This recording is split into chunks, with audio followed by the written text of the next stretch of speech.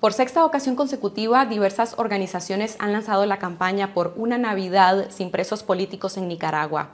Actualmente son más de 100 familias que tienen a un preso político en la cárcel, en régimen de convivencia familiar u obligado a presentarse a una delegación policial diariamente o semanalmente. Mientras tanto, esta semana se conoció de malos tratos y ensañamiento contra algunos de los prisioneros, principalmente quienes se encuentran en la cárcel La Modelo. Hablamos con Gabriel Putoy, excarcelado político y miembro del Grupo de Reflexión de Excarcelados Políticos, y con Ivania Álvarez, también excarcelada política, quien apoya a los familiares de los reos políticos. Desde el exilio, ambos hacen un llamado a la ciudadanía a sumarse a la demanda de liberación de los reos de conciencia. Veamos lo que dijeron. Gracias, Ivania, Gabriel, por esta entrevista. Gabriel, el grupo de reflexión de excarcelados políticos hizo una denuncia este 11 de diciembre sobre el maltrato que están sufriendo presos políticos en la cárcel La Modelo en Tipitapa. ¿Quiénes son y qué es lo que están viviendo?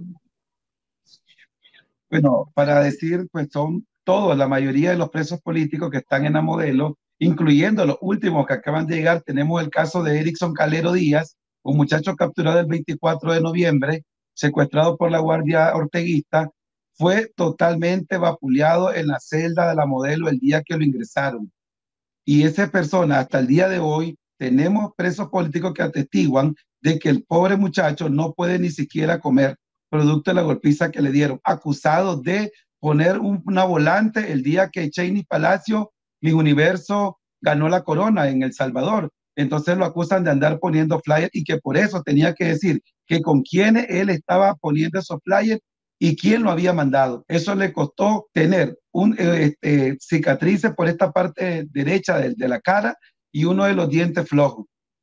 Ustedes también comunicaron sobre el traslado de un grupo de ellos a la celda conocida como la 300 por estar en huelga de hambre. Sí, yo creo que tenemos el hecho que estén los muchachos secuestrados, no quiere decir que pierden totalmente todos sus derechos tienen también derecho a manifestar la inconformidad que ellos puedan sentir dentro de las cárceles de la dictadura Ortega Murillo. Y fueron trasladados de la Galería 16 y 17 hacia la 300, un grupo de muchachos entre ellos está Abdul Montoya de Matagalpa, Sergio Catarino y hay otros de 37 años, otros originarios de Jinotega, fueron trasladados únicamente por ponerse en huelga de hambre, que ellos tienen derecho a hacerlo. Eso no, no, el estar secuestrado por la dictadura no le quita totalmente el 100% de sus derechos civiles.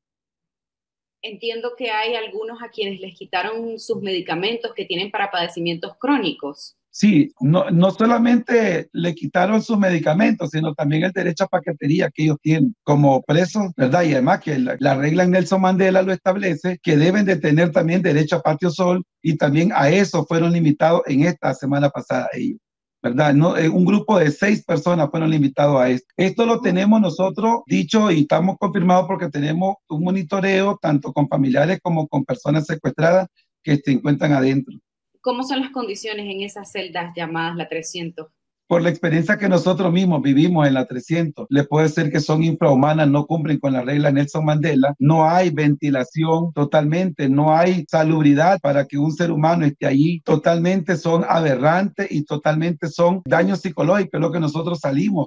Salimos de ahí porque usted defeca en un espacio y donde ahí mismo usted lava sus trastes para poder usted almorzar o comer o lo poco que su familia le lleva.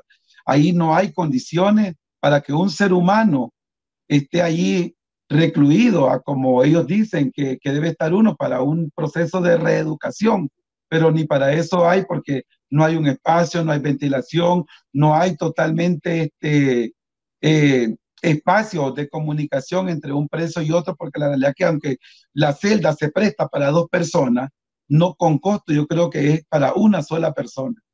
Ivania, ¿qué otra información tienen ustedes del resto de presos políticos que están en los demás centros penitenciarios del país? ¿Cuál es su situación? Sí, recordemos que no solo hay presos políticos en La Esperanza y en La Modelo, en Tipitapa, también hay en León, en Guasgualí de Matagalpa, en, eh, en Cuisalá de Huigalpa eh, y hemos tenido también algunos reportes de que algunas personas han sido llevadas antes al Distrito 3. Pareciera esto una activación de lo que ya habíamos vivido en abril, ¿verdad? Aunque eh, también han sido detenciones muy rápidas. y también tenemos una nueva modalidad que es la detención express que estuvieron reportándose entre agosto, septiembre, octubre. Esto se suma Recordemos que nosotros tenemos más de 90 personas que están en presentación diaria, es decir, que van a firmar a la policía de su localidad. Esta nueva modalidad es de detener a las personas unas cuatro horas, llevarla, amenazarla y ahora otra vez tienen que hacer una presentación periódica de una semana o de cada dos semanas. Esto se reportó bastante en este mes de noviembre en Jinotega y Matagalpa. Hay personas que por temor, porque están adentro y tienen que firmar todos los días, no han puesto su denuncia, pero creo que la lista de presentación periódica va creciendo todos los días. A cualquier comisionado se le puede ocurrir hoy llevarte, detenerte cuatro o cinco horas, amenazarte y luego hacerte un registro eh, desde tu nombre, tus hijos, eh, tus papás, tus redes sociales y dejarte en esta nueva modalidad de presentación periódica a lo que nosotros hemos denominado procesados políticos. Quiere decir que hasta la fecha, Ivania, ¿cuántos presos políticos hay en Nicaragua, eh, contando a quienes están en sistemas penitenciarios, los que están en casa por cárcel de facto y estos que mencionás? En el monitoreo y el, eh, y el mecanismo de reconocimiento de presos y de presas políticas se contabilizan 91 personas detenidas. Recordemos que hubo una expulsión de 12 sacerdotes que también estaban en la lista. Estos ya no están en la lista. Tenemos 91 personas presas políticas, 17 de ellas son mujeres. A esto hay que sumar un subregistro de algunas personas que están detenidas hace algunos meses y que sus familiares aún no han hecho, eh, digamos, la documentación por temor. Eh, y también tenemos un subregistro de lo que ha pasado en los primeros días de, en los últimos días de noviembre y los primeros días de diciembre. Es decir, que la lista de personas en las cárceles podía eh, superar las 100 personas. Recordemos casos famosos como los familiares de eh, Karen Celeberti o el TikToker y también la persona que estaban eh, haciendo el mural en este de quien algunos presos han reportado que se encuentran con ellos ya en la modelo. ¿Qué se sabe, hablando de estas detenciones más recientes, del profesor universitario, ex docente de la UNAM, Freddy Quesada? Sí, el profesor eh, Quesada se suma a más de 13 presos y presas políticas mayores eh, de edad, es decir, que tienen más de 60 años y que deberían de tener un eh, trato preferencial de casa por cárcel en algunos casos o de algún trato preferencial en la cárcel. Esto no ha sido así de manera express, también fue llevado ya a la modelo, han reportado eh, otros presos que se encuentran ahí. Recordemos que hay más de 13 eh, presos políticos que son eh, adultos mayores y uno de ellos se encuentra eh, aún encarcelado, uno de los 35 que se quedó en febrero, que Eliseo Castro se encuentra eh, detenido en el hospital en Infonseca. Lo que sabemos es eso, ¿no? Que ha sido trasladado a la modelo y que está ya compartiendo galerías con otros presos políticos. ¿Y se sabe algo del paradero del esposo e hijo de Karen Celeberti, la ahora exdirectora de Miss Nicaragua? No, nosotros no hemos sabido, creo que la familia ha mantenido cierto sigilo para poder, digamos, eh, tratar de, encontrar alguna medida. Yo creo que Karen, al igual que el resto de familiares, están en todo su derecho de hacer cualquier gestión. Creo que debemos acompañarles en esta violación a sus derechos humanos, violación a su derecho a libertad, a su derecho a comunicación. No se sabe de ellos, pero como te digo, hay reporte de que eh, algunos presos han estado en el Distrito 3 más días de lo que normalmente estaban siendo retenidos. Entonces es probable que ellos eh, se encuentren en, en algunos de estos distritos, eh, pero creo que su condición hasta este momento sería de desaparecidos. Y también conocimos del caso del TikToker que mencionabas. Este es un simpatizante sandinista y su familia denunció que había sido detenido después de que hizo unas críticas a presentadores de canales de televisión del régimen Ortega Murillo. ¿Qué se sabe de él? ¿Y hay más casos de detenciones ilegales de simpatizantes sandinistas? Sí, nosotros registramos también las detenciones de la Corte Suprema, de los despidos de la Corte Suprema de Justicia y también estuvimos reseccionando algunas detenciones express del MINSA y de algunas alcaldías, pero que luego fueron liberados. Según nuestro reporte, eh, no hay personas detenidas ni de la Corte Suprema de Justicia, ni de las alcaldías, ni del MINSA. En cambio, eh, este TikToker y el muchacho que estaba pintando sí se reportan como detenidos. La familia, me imagino que por temor y por porque no tienen una cercanía con eh, los organismos de, defensores de derechos humanos, no han hecho una denuncia más contundente. Esto nosotros ya lo hemos visto también, es una reacción normal. Eh, recordemos que en abril los sirineos, que eran simpatizantes del Frente Sandinista, fueron llevados a la cárcel y aún guardan prisión y su familia, esperando que por la cercanía que tenían al partido, fueran liberados, eh, han optado por no hacer tanta denuncia, esperando pues lo que no ha pasado, ¿no? ya tienen ocho meses ahí y seguimos esperando que los liberen. Gabriel, un año más han lanzado la campaña por una Navidad sin presos políticos. ¿Qué resultados han tenido las campañas anteriores por la libertad de los presos? Nosotros hemos como organización participado, ¿verdad? En esta campaña del 2023 Navidad sin presos políticos. Esto es una iniciativa de un grupo de, de organizaciones y plataformas que con una marca blanca nos hemos sumado a publicar de tres en tres los presos políticos, de tal manera que pidamos libertad por ellos en esta Navidad y gocemos los nicaragüenses una Navidad sin secuestrados y secuestradas políticas. Las campañas han tenido efecto porque los 222 excarcelados en febrero de este año fueron producto de la campaña que se, que se sostuvo durante un buen tiempo. Lo de Monseñor Álvarez, esas dos muestras de vida que han dado es producto de las campañas que se han, que se han dado en redes sociales, en medios de comunicación. Las campañas tienen su efecto. Y esta campaña Navidad sin pesos políticos, es posible que en enero nos topemos pues con un resultado que nosotros lo quisiéramos ya, pero pues las campañas son, tienen su efecto, no hablo inmediato, pero sí son nocivas para la dictadura. Tanto es así que la rinconan y tienen que ceder a las presiones de esta campaña.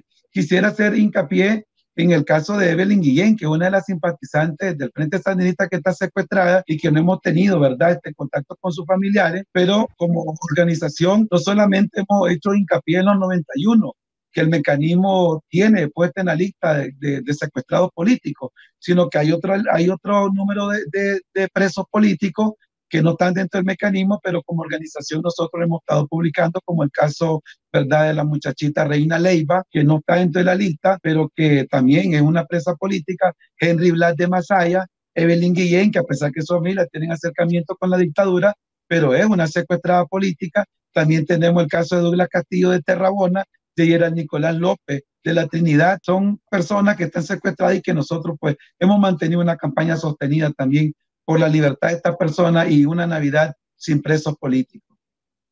Ivania, como dice el profesor, aunque eh, pues sí, el régimen ha liberado presos, pero también sigue encarcelando gente. Este, es un fenómeno que le llaman la puerta giratoria, ¿verdad? Entran y salen. ¿Sigue vigente esa dinámica? Sí, en la lista de 91 personas reconocidas por el mecanismo y que han hecho sus denuncias, 15 de ellas es la segunda, es su segunda detención. Y hay personas hasta con su tercera detención, como el caso de Olesia, de Pedro Gutiérrez, de Abdul Montoya. No es la primera Navidad que van a pasar dentro de las cárceles. Eh, en situaciones de tortura, de aislamiento y de amenaza, ellos y sus familiares. Eh, hay que recordar que esta sería la sexta campaña de Navidad sin presos y presas políticas. Si bien eh, ha, habido, digamos, mucho entusiasmo en años anteriores, tanto de familiares como de organizaciones, al pasar el tiempo y por la amenaza, te encontrás con una situación donde requerimos que más personas se sumen a las campañas.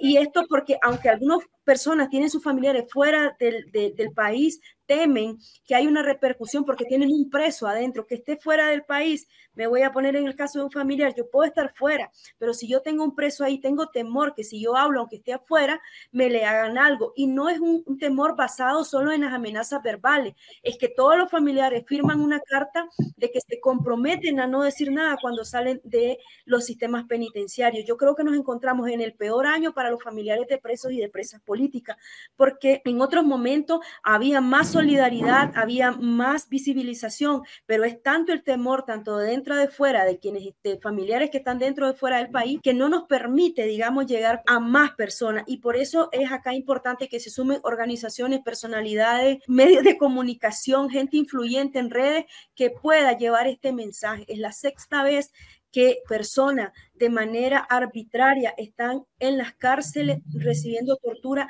en fechas especiales y en fechas que son muy dolorosas. Recordemos que ahorita hay promociones, hay bautizos, hay casamientos, donde no se pueden dar una, realización porque una de los familiares no está en esa mesa. Entonces, eh, yo creo que es importante también recordar que las personas que están yendo a presentarse todos los días también van a tener una Navidad bajo amenaza, bajo persecución, porque no hay día que no vayan a firmar. Sea, aquí la importancia de que no nos olvidemos de los presos políticos.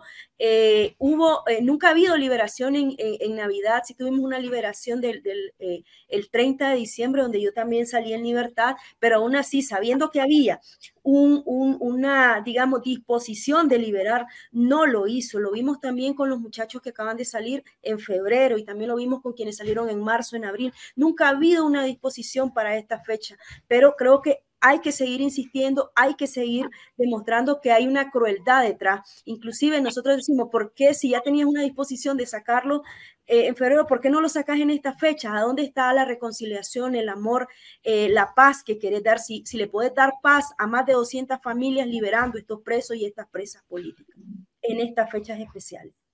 Profesor, algo que usted quiera agregar en ese mensaje para las autoridades nicaragüenses y para la ciudadanía también. Nosotros como organización quisiera agregar que también hemos visto una mirada hacia atrás, hacia los 10 hermanos que antes de la rebelión cívica del 2018, los 10 del caso del 19 de julio, el cachorro Marvin Vargas, ¿verdad? No solo nosotros como organizaciones, también la plataforma, las distintas organizaciones lo han visibilizado, ¿verdad? Y, y pues eso es importante que sigamos sosteniendo, así como decía Ivania, ¿verdad? Porque eso hace que la población mire de que nuestros hermanos secuestrados no se han olvidado, no, son, no han sido olvidados por nadie y que siguen allí presentes para nosotros hasta que sean liberados. Importante lo que decía Ivania, que hay personas que están siendo presionados a ir a, a, firmar a las, a las distintas delegaciones. Quisiera recalcar que como docente tenemos a 10 maestros de Jinotega que cínicamente la policía los cita diario a las 8 de la mañana y hasta pasan asistencia en la delegación de Jinotega para que nuestros 10 hermanos docentes puedan firmar, cuatro de ellos ya jubilados. Jubilados. Los, los, los fuerzan a ir a firmar a la delegación de Jinotega. Como, como como excarcelado y como parte de esta campaña, quisiera decir a la población que estos flyers que estamos sacando no tienen marca, no tienen dueño. Ustedes mismos como personas se pueden apropiar y ustedes pueden reenviarlo, pueden volver a, este, a publicarlo en su Facebook, volver a republicar de nuevo todas estas cosas porque esto es una marca blanca y hoy son nuestros hermanos los que están secuestrados, mañana puede ser uno de ustedes. Nadie en este régimen está garantizado o tiene garantía de nada. La única garantía es que nosotros debemos de estar unidos, fortalecernos en la acción, actuar y pedir libertad, porque el niño Jesús debe nacer en libertad, debe nacer en democracia, y lo único que pedimos es un pesebre lleno verdaderamente de amor y de paz. Gracias por ver este video. Y si aún no lo has hecho, suscríbete a nuestro canal en YouTube. Activar las notificaciones para recibir las noticias del momento sobre Nicaragua. Tu respaldo a Confidencial es imprescindible para seguir informando y para ganar la batalla de la verdad.